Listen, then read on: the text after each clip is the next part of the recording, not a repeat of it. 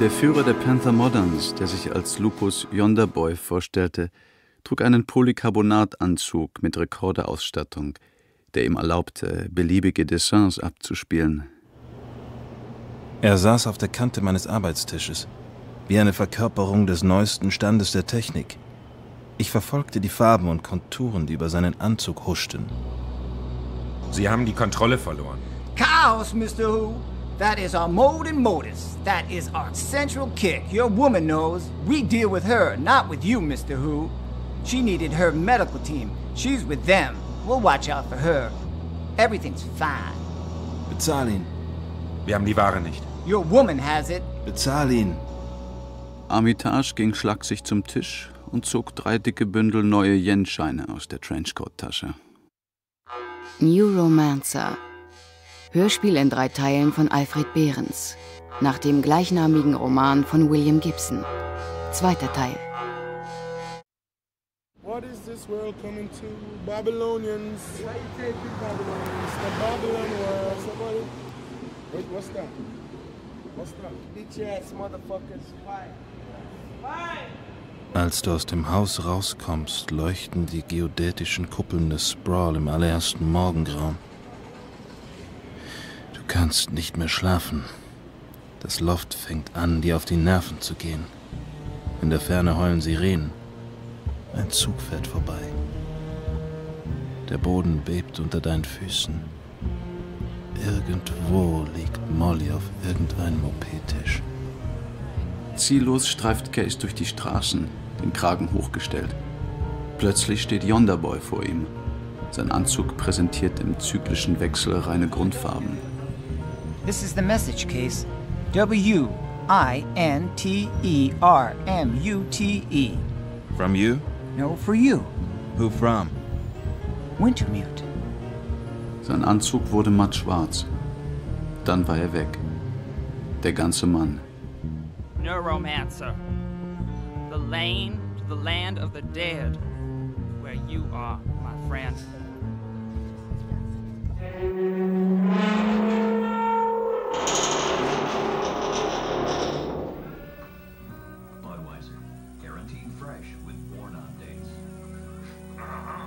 Hinter der Armidecke wartete der Finne am weißen Tisch. Mit raschen Gesten zog Molly ein Stück Papier hervor, kritzelte etwas drauf und schob es dem Finnen zu. Wintermute?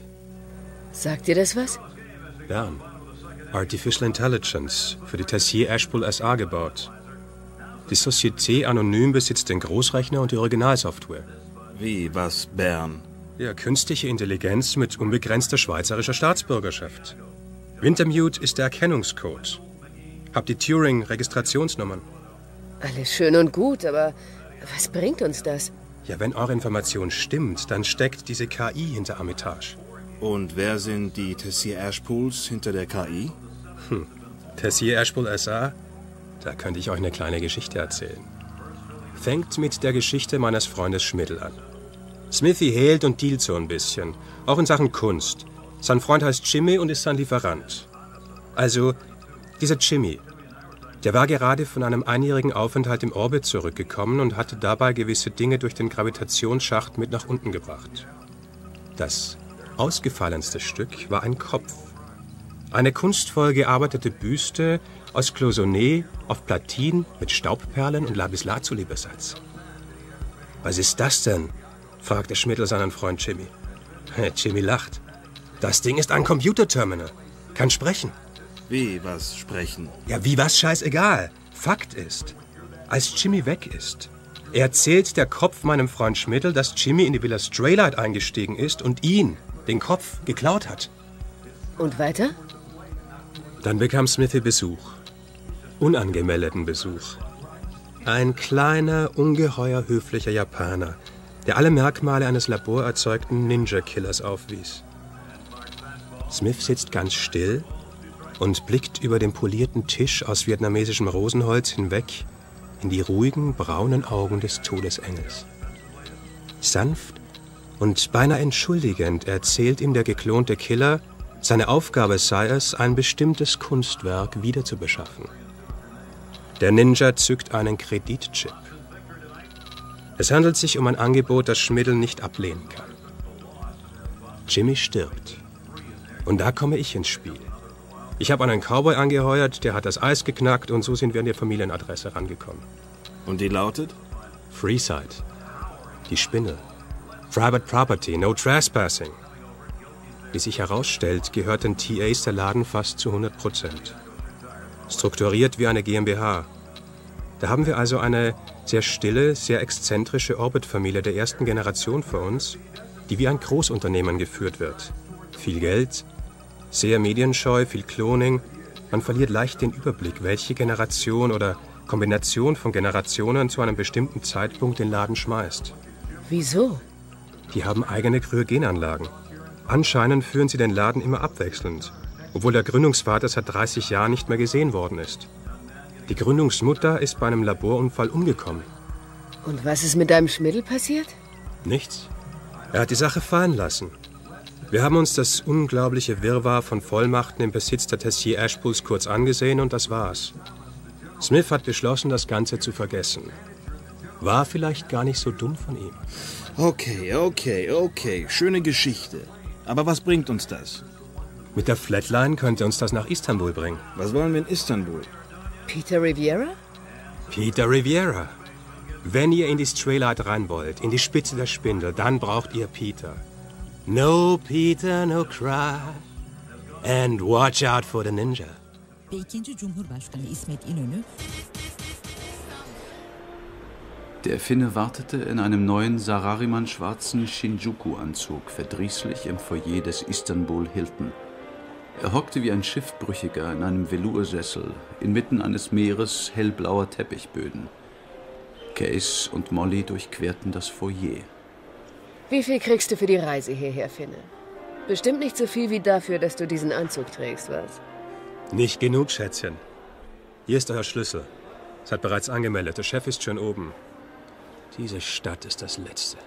Wenn du Platzangst kriegst, holen wir dich schon raus. Tu einfach so, als wär's Brooklyn.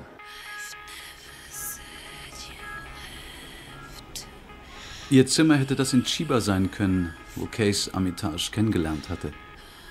Er trat ans Fenster, ins Morgenlicht und erwartete fast, die Bucht von Tokio zu sehen. Gegenüber stand ebenfalls ein Hotel. Es regnete. Ein paar Briefschreiber hatten sich in Hauseingänge geflüchtet mit ihren alten, in Plastikfolie gehüllten Sprachdruckern, was bewies, dass hier das gedruckte Wort noch ein gewisses Ansehen genoss. Es war ein lethargisches Land.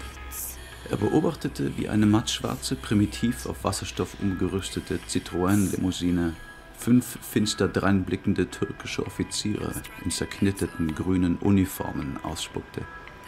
Sie betraten das gegenüberliegende Hotel. Gleich darauf klopfte es an der Tür. Herein. Terzibastian hielt ein schwarzes Hilton-Tablett mit drei kleinen, herrlich duftenden Tassen starken schwarzen Kaffees und drei klebrigen, strohgelben Stückchen einer orientalischen Süßigkeit. Ähm, wir müssen, ähm, how do you say it in English? Take it easy. Ganz besonders, du musst mit deinen Gläsern aufpassen. In der Türkei missbilligt man Frauen mit solchen Modifikationen. Das ist mein Bier, Kamerad. Ich weiß über dich Bescheid. Du bist ein Militärspitzel, stimmt's? Ihre Hand glitt träge in ihre Jacke und kam mit der Fläschette wieder heraus. Ganz easy, bitte. Bitte, kein Trouble, wie in Englisch sagt.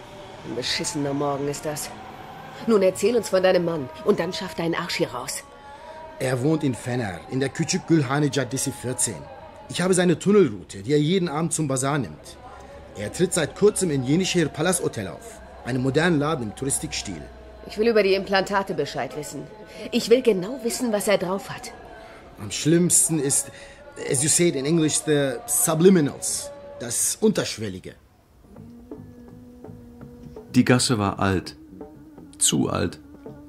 Die Mauern waren aus dunklem, behauenen Stein und das holprige Pflaster stank nach dem ausgelaufenen Benzin von 100 Jahren, das sich im alten Kalkstein festgesetzt hatte. Ich sehe rein gar nichts. Damit kommt unser Schätzchen schon klar. Still. Ganz easy.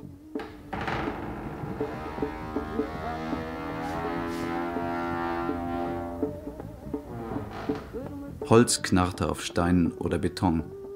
Zehn Meter weiter vorn in der Gasse fiel ein gelber Lichtkeil aufs nasse Pflaster, wurde breiter. Jemand trat heraus und die Tür ging knarzend zu. Es wurde wieder dunkel in der engen Gasse. Jetzt! Ein gleißend heller Lichtstrahl vom Dach des gegenüberliegenden Gebäudes lässt die schlanke Gestalt neben der alten Holztür erstarren. Funkelnde Augen schießen nach links und rechts. Dann sackt der Mann zusammen. Der Lichtstrahl bewegt sich keinen Millimeter. Am Rücken des Gestürzten wölbt sich der Jackettstoff hoch und platzt auf. Blut spritzt auf Wand und Tür. Zwei unwahrscheinlich lange, sehnige Arme recken sich pinkgrau ins grelle Licht. Das Ding scheint sich selber durch den leblosen, blutbesudelten, entstellten Riviera hindurch aus dem Boden zu ziehen. Es ist zwei Meter hoch, steht auf zwei Beinen und scheint keinen Kopf zu haben. Dann dreht es sich langsam zu uns um und ich sehe, dass es doch einen Kopf hat, aber keinen Hals besitzt. Im Gesicht fehlen die Augen. Tersibajian schreit etwas auf Griechisch oder Türkisch und wirft sich dem Ding entgegen, die Arme vorgestreckt, als wollte er durch ein Fenster hechten.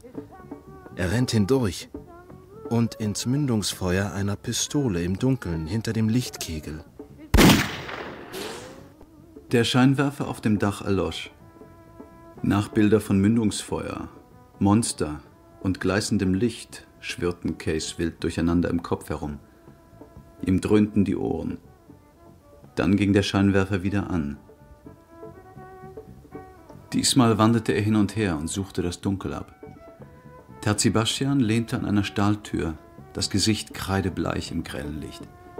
Er hielt sich das linke Handgelenk und starrte auf das Blut, das aus einer Wunde an seiner Hand tropfte. Der blonde Mann zu seinen Füßen war wieder heil. An seinem Körper war kein Tropfen Blut zu sehen. Ganz in Schwarz gekleidet, trat Molly aus der Dunkelheit hervor. Sie hielt die Fläschette in der Hand.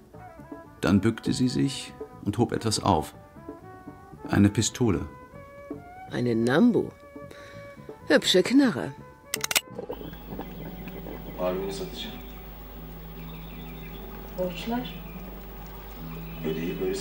Was wollen wir überhaupt von diesem Riviera? Weiß der Teufel. Ich könnte den Kerl umbringen, wenn ich ihn bloß sehe. Hab mir sein Profil angeschaut. Er ist eine Art zwanghafter Judas. Kriegt nur einen hoch, wenn er weiß, dass er die Objekte seiner Begierde später verraten wird. Sehr krass. Und sie müssen ihn zuerst einmal lieben. Vielleicht liebt er sie ja auch. Krank. In drei Jahren hat er 18 Dissidenten verpfiffen. Alles Frauen zwischen 20 und 25. Ich werde wohl eine Spezialversicherung gegen diesen Typen abschließen müssen. Spezialversicherung? Vergiss es. Zeit zum Packen. Oh, nicht schon wieder. Was für ein Klima? Da gibt's kein Klima. Bloß Wetter. Hier. Lies dir den Flyer durch.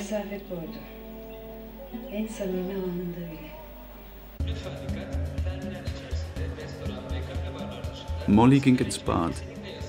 Case griff sich den Flyer. Teuer aufgemachter Prospekt auf Französisch, Englisch und Türkisch. Freeside. Warum warten? Für das Quartett war ein THY-Flug vom Flughafen Yeşilköy gebucht. In Paris Transfer zum JAL-Shuttle. Case beobachtete Riviera, der sich hinter den Glasfenstern des Duty-Free-Shop nachgemachte byzantinische Fragmente ansah. Armitage stand, den Trenchcoat wie ein Cape über die Schultern drapiert, am Eingang des Shops. Riviera war schlank und blond, hatte eine sanfte Stimme und sprach fließend akzentfreies Englisch. 30 Jahre alt, staatenlos, gefälschter niederländischer Reisepass.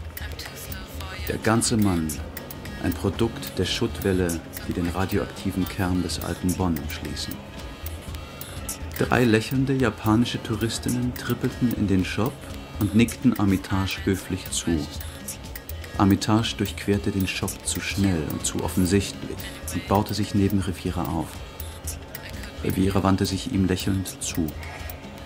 Case sah, wie seine blassen Hände über die imitierten Skulpturfragmente glitten.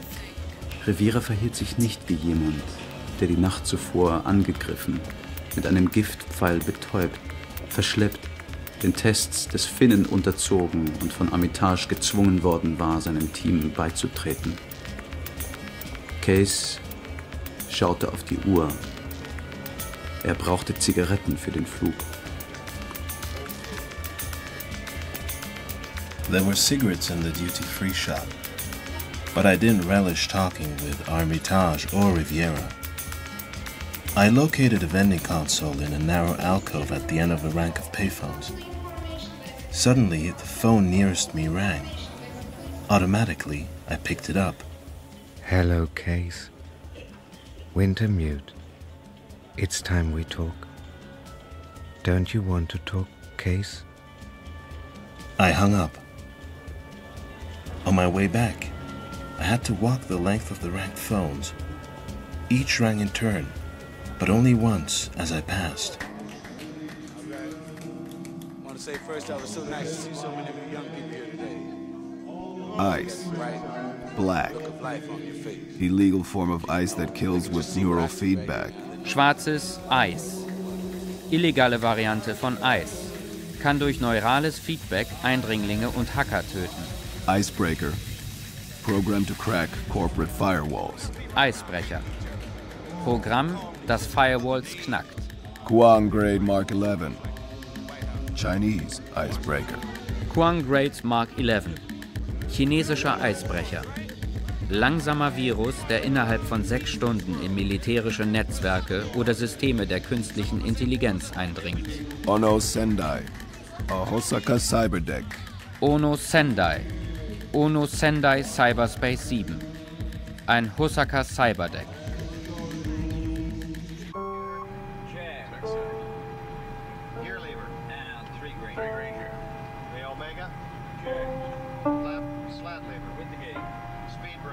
Archipel.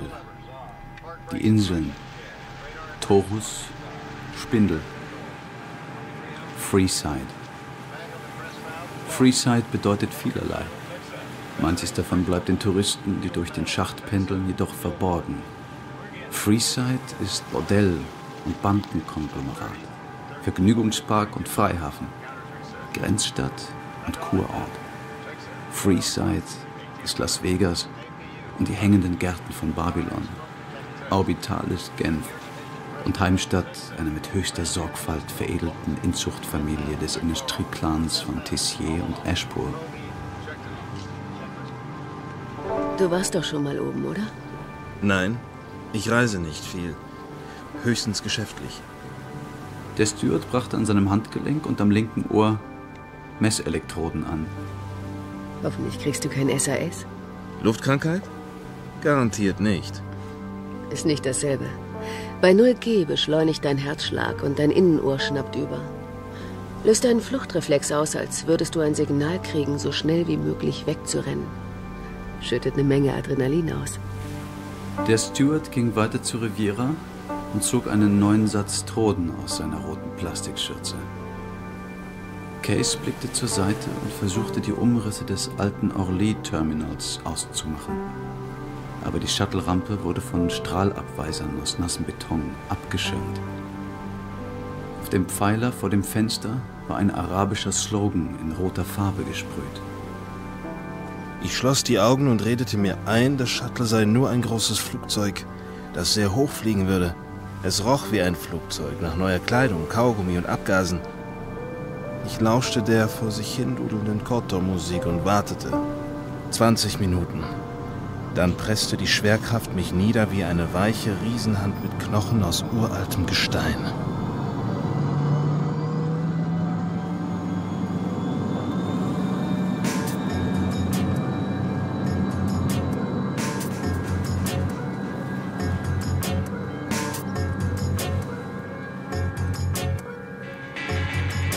Vom Landeterminal nahmen sie ein Taxi nach Zion, um sich in der Schwerelosigkeit zu akklimatisieren.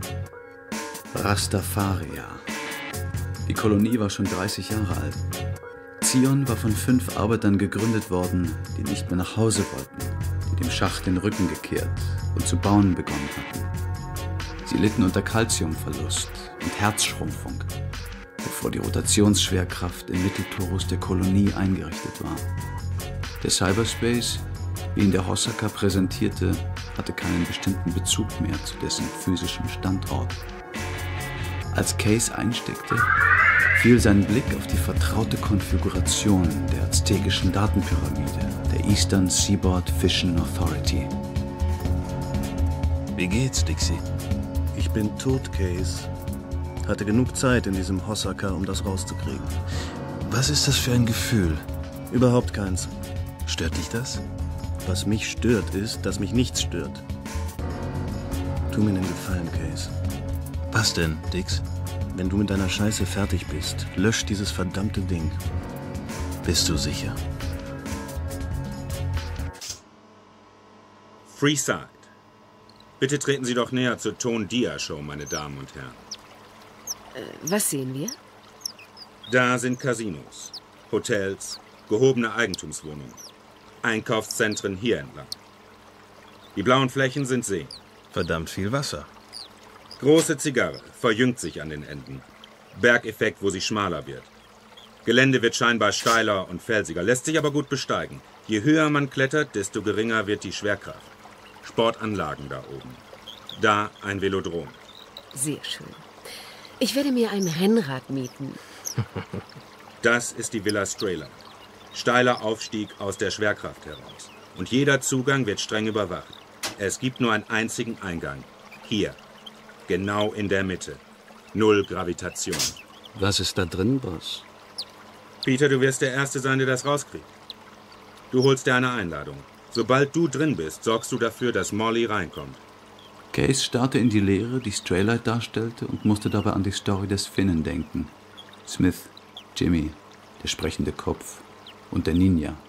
Kann man Näheres erfahren? Ich muss mir schließlich überlegen, was ich anziehen soll. Merkt euch die Straßen. Desiderata Street, Rue Jules Verne.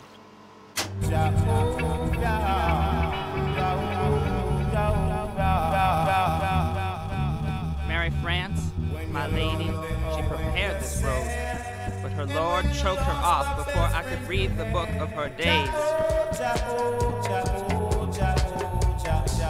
Ich freue mich, dich kennenzulernen, Katzenauge. Wir nennen dich auch wandelndes Messer. Ich heiße Malcolm, Schwester. Brüder wollen sich mit dir und Cowboy unterhalten. Welche Brüder? Na, die Ältesten. Die zwei noch lebenden Gründer Zions waren Greise. Sie schwebten inmitten eines gemalten Urwalds aus buntem Laubwerk. Ich stamme aus Los Angeles. Vor langer Zeit bin ich den Gravitationsschacht heraufgekommen, fort von Babylon, um die Stämme heimzuführen. Bald kommen die letzten Tage. Stimmen. Stimmen rufen aus der Wüste und prophezeien Babylons Untergang. Wir überwachen viele Frequenzen. Wir hören ständig mit. Und aus dem Babel der Zungen erhob sich eine Stimme und sprach zu uns, spielte uns einen Markwohlen dar. Wintermute, der Stimme. Case bekam eine Gänsehaut. Die Stimme sagte, wir sollen euch helfen. Wann war das? 30 Stunden bevor ihr an Zion angelegt habt. Habt ihr diese Stimme schon früher gehört? Nein. Und wir wissen nicht, was sie uns sagen will. Wenn diese die letzten Tage sind, müssen wir mit falschen Propheten rechnen. Das ist eine KI, versteht ihr? Eine künstliche Intelligenz. Die Musik, die sie euch vorgespielt hat. Wahrscheinlich hat sie einfach eure Speicher angezapft und irgendwas zusammengemixt, von dem sie gedacht hat, das wollt ihr. Was für eine Botschaft hatte die Stimme? Sie gab uns Befehl, euch zu helfen. Auf, dass ihr als Werkzeug der letzten Tage dienen mögt. Sie befahl uns, euch Malcolm zur Seite zu stellen. Er soll euch mit seinem Schlepper Gavi zum babylonischen Hafen von Freeside bringen. Malcolm, ein harter Burschen, tüchtiger Pilot. Doch wir schicken auch Errol mit der Babylon Rocket. Ihr soll über die Gavi warten. Arbeitet ihr für Armitage oder was? Unser Gesetz ist Jars Wort. Malcolm wird euch begleiten. Jalom, Schwester. 午前5時58分40秒をお知らせします Tessier, Marie France. Heir to a family fortune founded on nine patents in applied biochemistry. Tessier Marie-France. Erbin eines Familienvermögens, das auf neun Patenten auf dem Gebiet der angewandten Biochemie beruht. Heiratet John Ashpool, Mutter von Jean und Jane Ashpool, die jeweils zehnmal geklont werden. Mit ihrem unternehmerischen Talent verwandelt sie die neu gegründete Freeside-Kolonie in einen hochprofitablen Datenhafen. Wintermute. Artificial Intelligence. Wintermute. Künstliche Intelligenz in der Schweiz. Eigentum der Tessier Ashpool Société anonym. Wintermute reaktiviert Armitage Corto, der ihm bei dem Run auf die Villa Straylight helfen soll. Durch diesen Run will sich Wintermute aus den Fesseln der Kapazitätseinschränkung durch das Turing-Register befreien und sich mit Neuromancer, seiner Zwillings-KI, vereinen. Yonder Boy. Lupus. Panther Modern Leader. Yonderboy, Lupus. Führer der Panther Moderns pinkfarbenes Haar, massenweise Microsofts hinter dem linken Ohr, modifizierte, katzenähnliche Pupillen, trägt einen Polycarbonatanzug mit Aufnahmefunktion.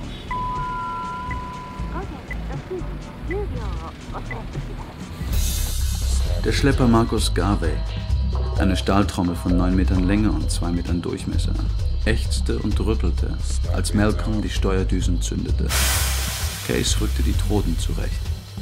Die Markus Garvey war um einen riesigen alten russischen Luftskrabber herum zusammengebastelt worden. Das eckige Ding war mit Rastafari-Symbolen beschmiert. Löwen von Zion und Schiffen der Black Star Line. Und das Rot-Grün-Gelb überdeckte wortreiche Aufkleber in kyrillischer Schrift. Case steckte ein. Dixie? Ja. Schon mal probiert, eine KI zu knacken? Ja, war mein erster Hirntod. Hab ein bisschen rumgespielt, bin ganz weit oben eingestiegen. Großer Handelssektor bei Rio. Hochfinanz, Multis, brasilianische Regierung. Wie ein Christbaum hat das geleuchtet. Bloß so zum Spaß. Und dann habe ich mir den Würfel vorgenommen. Vielleicht drei Stufen höher. Bin rauf und hab einen Versuch gestartet. Wie hat sie ausgesehen, rein optisch? Ein weißer Würfel. Woher wusstest du, dass es eine KI war? Woher ich das wusste? Mann, das war das dichteste Eis, das mir je untergekommen war. Was sollte es denn sonst sein? Die Militärs da unten haben sowas nicht. Jedenfalls habe ich ausgesteckt und meinen Computer nachsehen lassen. Und? War im Turing-Register verzeichnet. KI. Der Großrechner in Rio gehörte einer Franzosenfirma. Case kaut auf seiner Unterlippe herum und starrt über die Plateaus der Eastern Seaboard Fission Authority in die endlose neuroelektronische Leere der Matrix. Tessier Ashpool, Dixie? Tessier, ja. Und dein EEG war flach. Tja, das ist der Stoff, aus dem die Legenden sind, nicht wahr? Dix, ich will mir eine KI in Bern anschauen. Spricht irgendwas dagegen? Eigentlich nicht, sofern du keine krankhafte Angst vor dem Tod hast. The man in the plastic bag looks like terror. He's staring at me.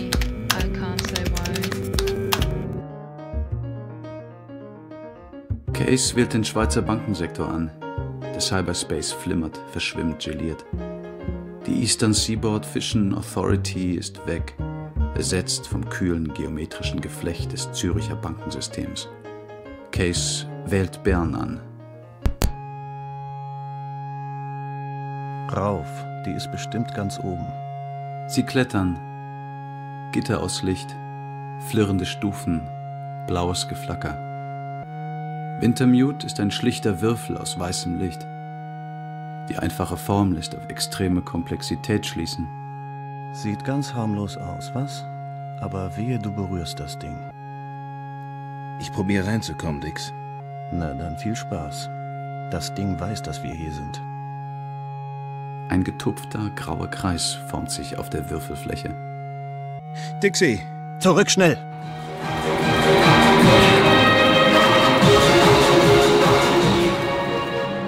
Graue Fläche wölbt sich, wird zur Kugel und löst sich vom Würfel ab. Case spürt, wie sich die Kante des Decks in seine offene Hand gräbt, als er Max Reverse drückt. Die Matrix weicht flimmernd zurück. Sie stürzen den düsteren Schacht der Schweizer Banken hinunter. Case blickt nach oben. Die Kugel wird immer dunkler. Sie stürzt auf ihn herab.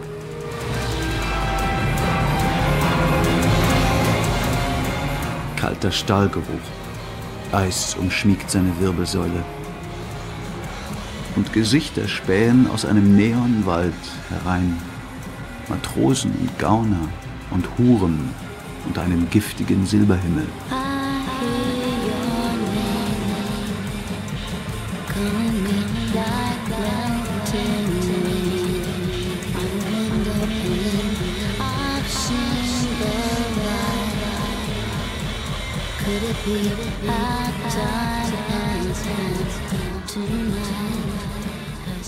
Regen weckt dich.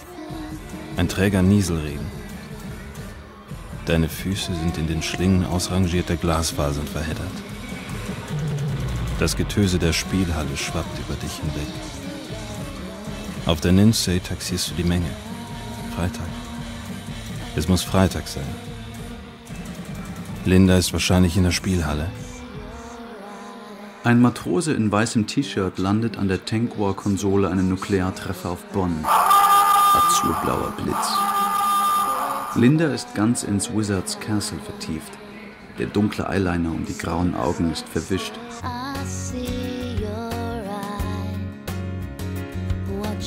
Hey, wie geht's?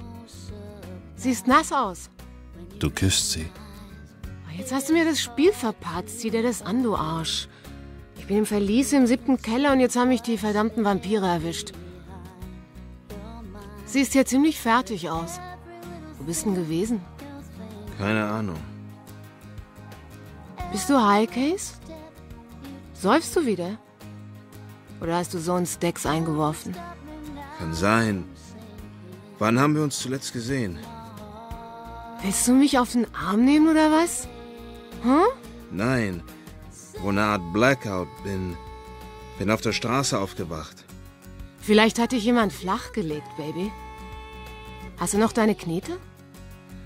Case schüttelt den Kopf. Da hast du's. Brauchst du was zum Pennen, Case? Glaub schon. Dann komm. Linda greift nach seiner Hand und zieht ihn mit sich. Erstmal holen wir den Kaffee und was zu essen, dann gehen wir zu mir. Schön, dich zu sehen. Case lächelt sie an. Dann knackt es. Die Spielhalle erstarrt. Er zittert. Linda ist weg. Das Gewicht der Erinnerung senkt sich schwer auf Case herab. Der Matrose in weißem T-Shirt ist weg. Die Spielhalle ist leer und still. Ich hatte doch eine Zigarette. Ich hatte eine Zigarette, eine Frau und einen Platz zum Pennen. Hörst du mich, du Hurensohn? Hörst du mich?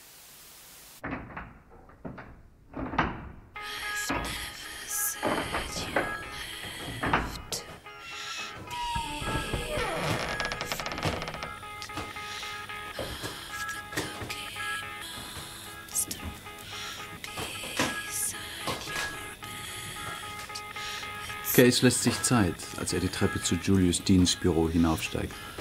Die schlaffe Dali-Uhr geht nach wie vor falsch. Es liegt Staub auf dem Kandinsky-Tisch. Es ist niemand da. Case findet die Kanone in einem rissigen Lederhalfter. Mit dem Revolver in der rechten stellt Case sich mitten ins vollgestopfte Büro. Er zielt auf den Schreibtisch und drückt ab. Der Rückstoß bricht ihm fast das Handgelenk. Das wäre aber nicht nötig gewesen, alter Knabe. Es gilt, eine gewisse innere Logik zu beachten, wenn du das Schießeisen benutzt. dann bekommst du eine Menge Hirn und Blut zu sehen. Es würde mich einige Stunden kosten, in deiner subjektiven Zeit einen neuen Speicher einzusetzen. Wegen Linda tut es mir leid. Ich wollte durch sie zu dir schützen. Ich konstruiere das alles aus deinen Erinnerungen. Das ist die Matrix. Du bist Winter. Zur Sache, Sache. Hello,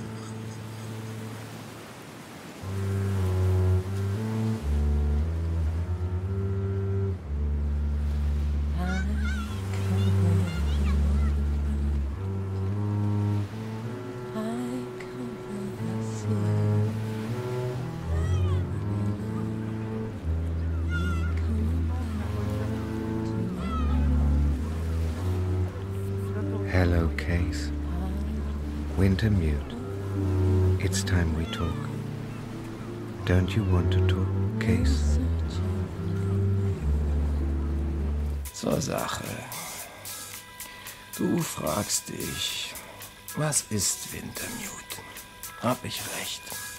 Mehr oder weniger. Dein Fehler an sich ein ganz logischer ist, dass du den Wintermute Mainframe in Bern mit der Entität Wintermute verwechselst. Über die andere KI im Tessier-Eschpulverbund weißt du bereits Bescheid, oder? Rio. Ich bin derjenige, sofern ich ein Ich habe. Oh je, wird ziemlich metaphysisch, wie du siehst. Ich bin derjenige, der hinter Amitar steht. Oder hinter Cordo. Was du da redest, ist genauso wirr wie die ganze Sache bisher. Stimmt die Corto-Story? Ich improvisiere. Das ist meine große Stärke. Mir sind Situationen lieber als Pläne. Es hat sehr lange gedauert, das Team, zu dem du gehörst, auf die Beine zu stellen. Corto war der Erste. Und er hätte es beinahe nicht geschafft. War ganz schön fertig in Toulon. Essen, scheißen und masturbieren. Zu mehr war kaum fähig. Aber die zugrunde liegende Struktur von Obsessionen war vorhanden. Screaming Fist, sein Verrat, die Kongressausschüsse. Er wird sich an dir spalten, Case. Ich zähle auf dich. Das ist aber schön, du Arschloch, sagte Case und schoss ihm mit der 357er in den Mund. Es stimmte das mit dem Hirn und dem Blut.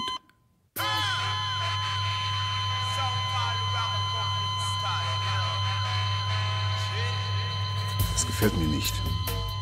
Kein EEG. 40 Sekunden lang. Verdammt. Ist alles okay? Hm. EEG flach wie ein Brett.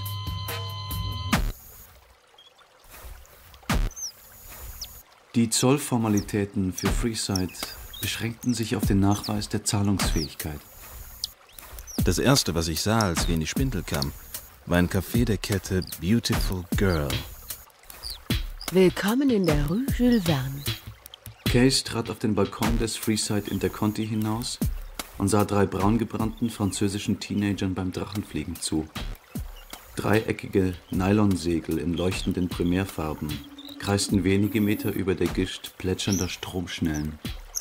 Die extreme Künstlichkeit. Echt wie Simstim. Früher wollten wir mal herkommen. Entweder hierher oder irgendwo nach Europa. Wer? Wir. Niemand, sagte sie mit einem unwillkürlichen Achselzucken. Das schmale Band des Lado-Ackerson-Systems glomm in der abstrakten Imitation eines Sonnenuntergangs auf den Bermudas, durchsetzt von aufgezeichneten Wolkenfetzen. Wir sollten jetzt schlafen gehen. Der Schlaf ließ auf sich warten. Als er sich schließlich einstellte, brachte er Träume mit sich, die wie sauber editierte Erinnerungsfetzen anmuteten. Linda. Wintermute. Nachbilder.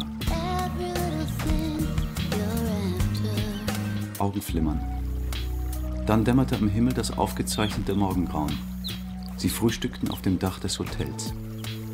Von einem Nachbartisch wehten französische Wortfetzen herüber, die seine Aufmerksamkeit erregten. Die goldenen Kinder, die er am Abend zuvor beim Drachenfliegen über dem Dunstschleier des Flusses gesehen hatte. Jetzt bemerkte er, dass ihre Bräune ungleichmäßig war. Ein Schabloneneffekt, der von selektiven Melaninverstärkern herrührte. Verschiedene Brauntöne überlagerten einander in geradlinigen Mustern, fassten Muskeln ein und betonten sie. Die kleinen, festen Brüste des Mädchens, der Unterarm eines Jungen auf dem weißen Emailletisch. Auf Case wirkten sie wie Rennmaschinen. Sie hätten eigentlich Aufkleber ihres Haarstylisten, des Designers ihrer weißen Segeltuchhosen sowie der Schöpfer ihrer Ledersandalen und ihres einfachen Schmucks tragen müssen. Dahinter saßen an einem anderen Tisch drei japanische Ehefrauen in Hiroshima-Sackleinen, die auf ihre Sarachi-Männer warteten.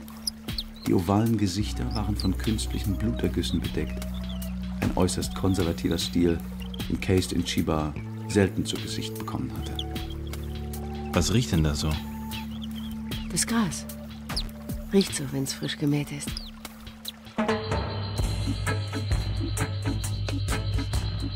Hey, hey, hey. Mach's so cool, Mann. Danke. Vom Raumanzug befreit, zieht Case sich behutsam über den Hossaka und schlüpft in die Netzgurte. Hey, vor zwei Stunden habe ich eine Lieferung aus Babylon für dich angenommen. Nette Japaner-Boy in der Yacht. Mann, ganz tolle Jagd das.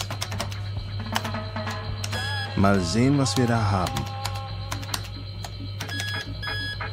Dem verschlüsselten Datentransfer von Bocris Systems GmbH Frankfurt zufolge enthält die Sendung das Penetrationsprogramm Kuang Great Mark 11. Bocris teilt mit, das Interface ist kompatibel mit ONO Sendai Cyberspace 7 und bietet optimale Penetrationsmöglichkeiten, insbesondere bei existierenden Militärsystemen. Wie steht's mit einer KI? Existierende Militärsysteme und künstliche Intelligenzen. Wie hat sich das genannt? Kuang Great Mark 11. Chinesisch? Ja, Wem gehört Bocris, die Firma in Frankfurt? bitte warten. Interorbitaltransmission. Case trommelt mit den Händen auf den Ono Sendai und steckt ein. Dixie, was weißt du über chinesische Virusprogramme? Nicht gerade wahnsinnig viel. Schon mal was von einer Gattung namens Quang Mark 11 gehört? Nein. Also ich habe hier einen benutzerfreundlichen chinesischen Eisbrecher auf einer Einmalkassette. Irgendwelche Leute in Frankfurt behaupten, er könnte eine KI knacken. Gut möglich, wenn er vom Militär ist. Sieht so aus. Jetzt hör mal zu, Dix, und hilf mir mit deinem Hintergrundwissen, okay? Ich tue, was ich kann, Case. Armitage plant anscheinend einen Run auf eine KI, die Tessier Erspur gehört. Der Mainframe steht in Bern, ist aber mit einem anderen in Rio verbunden. Der in Rio ist derjenige, der dich das erste Mal hirntot gemacht hat. Sieht so aus, als liefe die Verbindung über Straylight, die Homebase von TA am Ende der Spindel. Und als sollten wir uns mit dem chinesischen Eisbrecher Zutritt verschaffen. Wenn also Wintermute hinter der ganzen Sache steckt, bezahlt er uns dafür, dass wir ihn verbrennen? Sieht so aus. Du hast recht. Er will sich selbst verbrennen. Und etwas, das sich Wintermute nennt, versucht dauernd sich an mich ranzuschleimen, damit ich Armitage aufs Kreuz lege. Was soll das? Das Motiv ist echt ein Problem bei einer KI. Nicht menschlich, verstehst du?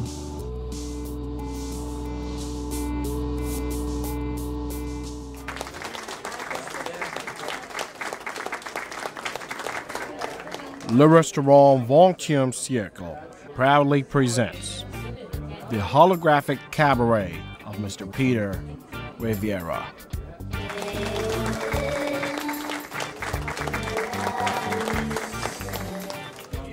Riviera leuchtet. Das Licht umgibt ihn wie eine Haut und erhellt den dunklen Vorhang hinter der Bühne. Riviera lächelt. Er trägt eine weiße Smokingjacke. Auf dem Revers glühen blaue Kohlen im Schlund einer schwarzen Nelke. Heute Abend möchte ich Ihnen ein längeres Stück darbieten. Ein neues Werk. Ein Rubin aus kaltem Licht formt sich auf der Handfläche seiner erhobenen Rechten. Er lässt ihn fallen. Eine graue Taube flattert vom Aufschlagspunkt empor und entschwindet in die Schatten.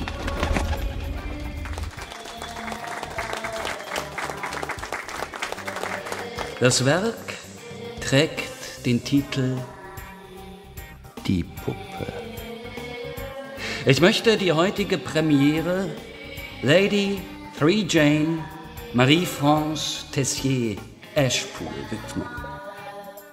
Und einer anderen Dame. Allmählich formieren sich schwache Lichtsäulen, vertikal und horizontal, und bilden einen offenen Würfel um die Bühne. Mit einem Mal füllt sich der gespenstische Würfel und wird zum Zimmer, dem die vierte Wand fehlt, sodass das Publikum hineinsehen kann. Revierer hebt den Kopf, hält die Augen jedoch geschlossen. Ich lebe schon immer in diesem Zimmer. Ich weiß nicht mehr, wann ich anfing, von ihr zu träumen. Wenn ich einen Teil von ihr sichtbar machen überlegte ich. Nur einen winzigen Teil. Wenn ich den deutlich sehen könnte. In brillanter Schärfe. Eine Frauenhand liegt nun auf der Matratze neben Riviera. Ihre. Die Handfläche nach oben, die Finger bleich. Riviera beugt sich vor, hebt die Hand auf und streichelt sie sachte. Ihre. Die Finger bewegen sich. Fingerkuppen. Riviera führt die Hand an seinen Mund und leckt die Fingerkuppen. Die Nägel sind burgunderrot lackiert. Die burgunderrot. Die Vorstellung läuft mit einer eigenen surrealistischen Logik ab. Als nächstes kommen die Arme, dann die Füße, die Beine. Ihre. Sehr schöne Beine. Sehr schönen Beine. Case brummt der Schädel. Seine Kehle ist trocken. Er trinkt den Wein aus, der vor ihm steht. Riviera liegt nun im Bett. Nackt. Ihre. Dann bildet sich der Rumpf, dem Riviera mit seinen Liebkosungen Gestalt verleiht. Brust. Weiß, kopflos und vollkommen. Mit einem Film von schimmerndem Schweiß. Mollys Körper. Case starrt mit offenem Mund zur Bühne hin. Aber es ist nicht Molly. Es ist Molly, wie Riviera sie sich vorstellt. Die Brüste stimmen nicht. Die Warzen sind größer, zu dunkel. Riviera und der gliederlose Torso wälzen sich auf dem Bett und die Hände mit den leuchtenden Nägeln kriechen über sie hin.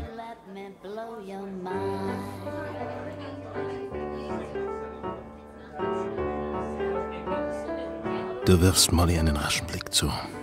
Ihr Gesicht ist ausdruckslos. Die Farben von Rivieras Projektion blitzen und wabern in ihren Linsen. Armitage sitzt vornüber gebeugt da, die Hände am Stiel seines Weinglases, die hellen Augen starr auf die Bühne, den leuchtenden Raum gerichtet. Nun sind Glieder und Torso miteinander verschmolzen. Riviera durchläuft ein Zittern. Der Kopf ist dran, das Bild komplett. Es ist Mollys Gesicht. Ihre Augen liegen unter stillen Quecksilberspiegeln verborgen. Riviera und das Molly-Abbild beginnen mit neu entfachter Heftigkeit zu kopulieren. Du stehst auf und taumelst zur Tür. Case kotzte über ein Rosenholzgeländer in die stillen Wasser des Sees.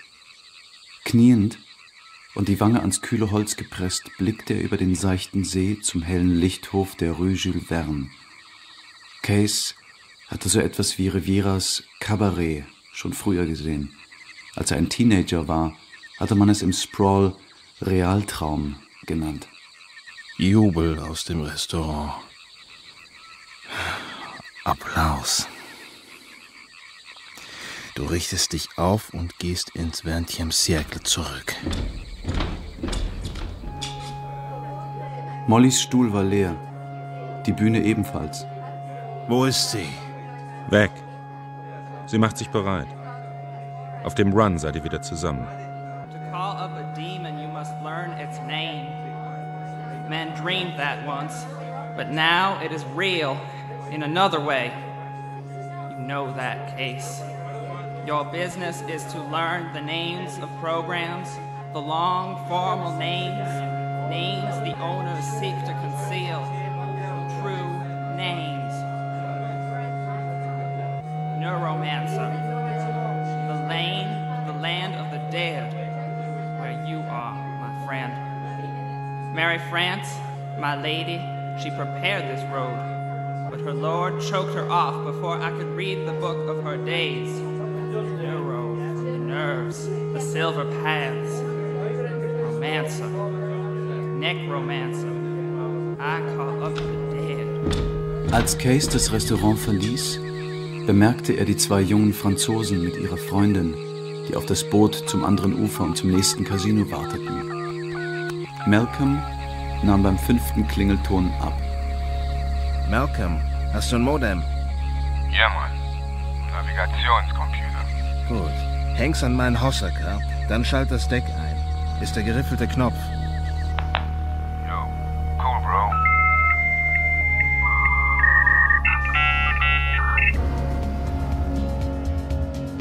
Eis aufbauen. Sie sprechen von einem stark überwachten Ort aus. Scheiß drauf. Schalt die Konstruktion zu. Dixie? Hallo, Case. Dix, du wirst jetzt hier einsteigen, mir was besorgen. Meinetwegen ganz offen. Molly ist irgendwo hier drin. Und ich will wissen, wo. Ich bin in 335 im Intercontinental. Sie war auch hier gemeldet, aber ich weiß nicht unter welchem Namen. Steig über die Leitung ein und geh deren Unterlagen für mich durch. Rose Kolodny. Abgereist. Ein aufgezeichnetes Morgengrauen kroch rosarot und düster über dem Lado-Ackerson-System herauf. Case zwang sich, in einem Café an der Desiderata Street ein Omelett zu essen, einen Schluck Wasser zu trinken und seine letzte Zigarette zu rauchen. Er hatte seinen Zorn noch. Der Zorn war in der Spielhalle hochgekommen, als Wintermute den Simstem-Geist von Linda Lee auslöschte und damit die simple animalische Hoffnung auf Essen, Wärme und einen Platz zum Schlafen zerschlug. Der Zorn war seltsam. Case konnte ihn nicht richtig einordnen. Du fährst mit dem Aufzug in deine Etage und kramst in deiner Tasche nach dem Freeside-Kreditchip, der dir als Schlüssel dient. Sie erwarten dich schon. Alle drei. Das Mädchen sitzt auf einem Korbsofa. Eine automatische Pistole neben sich, auf dem Blattmuster des Polsters. Turing, Sie sind verhaftet. Neurosurgery. Implants, nerve splicing, microbionics. Neurochirurgie, Implantate, Nervenspleißen, Mikrobionik und so weiter. Night City. Old area between port and city of Tokyo. Night City, altes Viertel zwischen Hafen und Zentrum von Tokio. Stadt der Outlaws. Spielwiese für Kriminelle, Händler, Piraten und Nutten. Ninsei. Heart of Night City, Tokyo. Ninsei, Zentrum von Night City, Tokio. Panther Moderns. Youth Culture. Panther Moderns. Nihilistische, technofetischistische Söldnertruppen. Tragen mimetische Polycarbonatanzüge, die sich an die Umgebung anpassen und dadurch ihre Träger unsichtbar machen. Jugendkultur. Personality ROM Construct. Recorded person saved digitally. Personality ROM Construct. Digitale Repräsentation der erfassten Merkmale einer Person.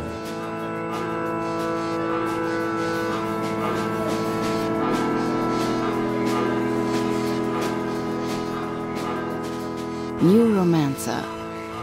Hörspiel in drei Teilen von Alfred Behrens. Nach dem gleichnamigen Roman von William Gibson. Zweiter Teil. Die Personen und ihre Darsteller. Erzähler. Matthias Chevenikas. Case. Jareth Merz. Molly. Marion von Stengel. Linda Lee, Dorothea Gädicke. Glossarstimmen Jeffrey Zach und Konstantin Graudus. Neuromancer-Stimme Max Hirsch. Computerstimme Markus Meyer. Wintermute Boris Alinovic. Armitage Ronald Marx. Dixie Flatline Christian Standke. Malcolm Errol Trotman Harewood. Julius Dean Alexander Ratzum. Peter Riviera Markus Hoffmann. Finne Thomas Morris. Terzi Baschian Taifun Bademsoy. L.A. Rastergreise Errol Shaker und Michael Trainer. Yonderboy Jeffrey Mills. Ansager Arthur Janka. Michel Bérangère Palix. Musik vom Label More Music aus Berlin. B. Fleischmann, Hessen, ISAM, Lali Puna, Manufacture, Micha Archer, Mum, Styrofoam, The No Twist. Gesang Jane Comerford. Klavier Jeffrey Lee Mills. Bass Frank Skripczynski. Ton Klaus Schumann und Peter Kainz. Technik Claudia Jira. Regieassistenz Wolfgang Siesko. Regie Alfred Behrens. Eine Produktion von Radio Bremen mit dem Westdeutschen Rundfunk aus dem Jahr 2003.